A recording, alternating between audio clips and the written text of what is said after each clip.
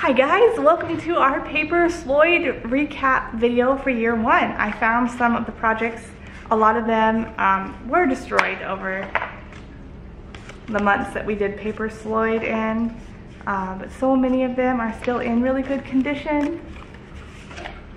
We found ways to use this. We're using the little basket to hold our push pins for our artboard. I'm still using this to hold my pins at our homeschool I, I keep this in my wallet, little book. We hang this on the door. Nobody's really using this. I think somebody sat on it, but I did find it, so it's in the video. Anyway, I just wanted to chat with you guys and talk about the year one projects. So how did you do? We will be continuing our Paper Sloyd journey with year two when my son starts second grade, so it will be um, probably eight or nine months until we I start making videos again.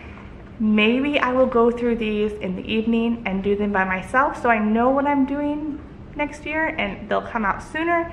Haven't quite decided yet, um, but here are all the projects that we made in Edna Ann Reich's book, or Edna Ann Rich. I'm not exactly sure how you say her name.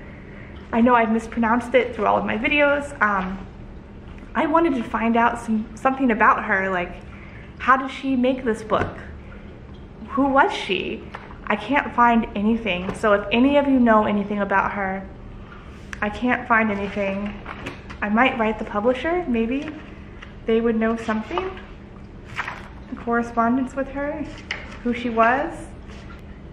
Anyway, this was written in 1905, which was before World War I and World War II. Therefore, a lot of records got lost. So in closing, we love Paper Sloyd. It has greatly enriched our homeschool.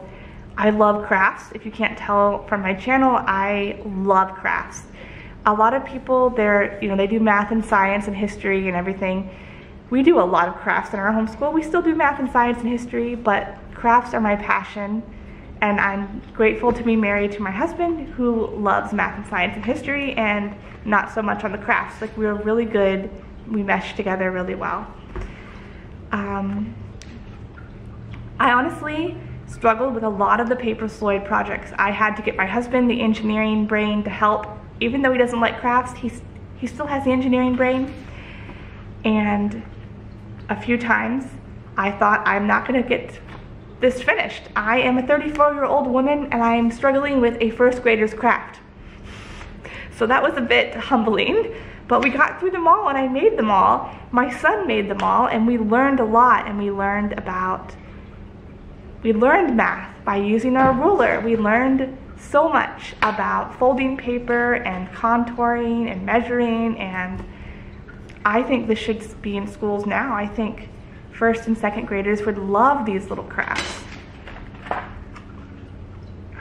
Anyway, I'm gonna do it. I'm gonna go upstairs and I'm gonna look up the Anna S. C. Blake Manual Training School in Santa Barbara, California, and I'm gonna send them an email about Edna Ann Reich, and I'm gonna make a video about what I find. Because I really wanna know about her. What kind of woman could create this kind of craft? Um, I'm probably wrong, but from my thinking, women didn't usually do this sort of thing. Maybe woodworking, this is the precursor to woodworking. So I think it's amazing that in 19, the 1900s, a woman wrote this book. All right, both of you come downstairs now. Hey, hey Ruben, why are you screaming? Anyway, my house is melting down now and I better go. Bye. Mm, this one got screamed at by his sister. I don't think I can slouch down low enough to be in the video. Can you sit up a little bit? so that we both fit? There we go.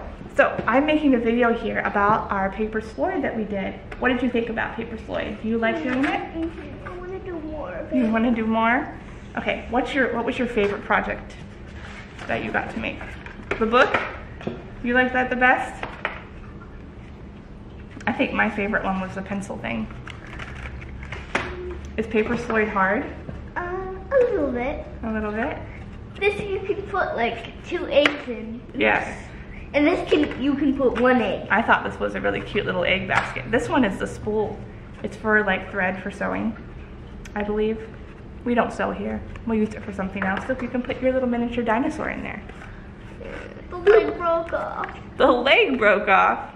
Oh dear, it did. I love you. Hmm. Hmm.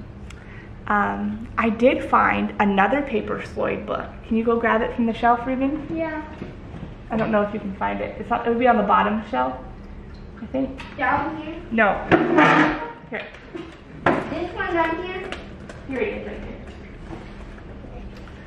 So when I was researching, I found this paper Sloyd book. It's Paper Modeling by M. Swannell.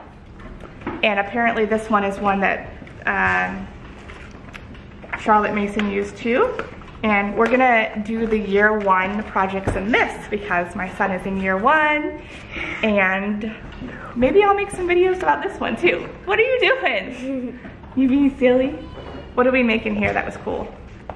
Uh, the barn. It was really hard. Oh yeah, we made a barn, didn't we? Yeah. It was hard. Did mommy have to ask daddy for help? yeah, I did. Uh, Anyway, I'm not sure if this one is currently copywritten. I don't know if I can show it because this one is in the Google domain as a like an open source book. But I'll have to do some research if I can make videos about this one or not. So we'll see. I'll let you guys go.